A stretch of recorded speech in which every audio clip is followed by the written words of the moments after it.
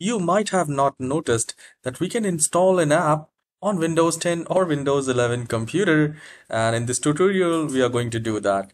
So here we need to click on the start icon and look for Microsoft Store and to download and install Instagram app on Windows we just need to open the Microsoft Store and once it is open we need to type Instagram and you will get the result like this Instagram.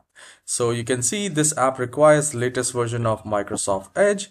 So if your Microsoft Edge doesn't have the latest version, you can update that and you can get this Instagram.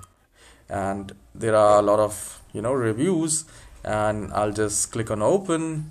Since I have uh, already installed, it's asking me to click on open else it would have been given me to download that so I can see the app is installed and here I just have to enter the details and I will be able to use Instagram.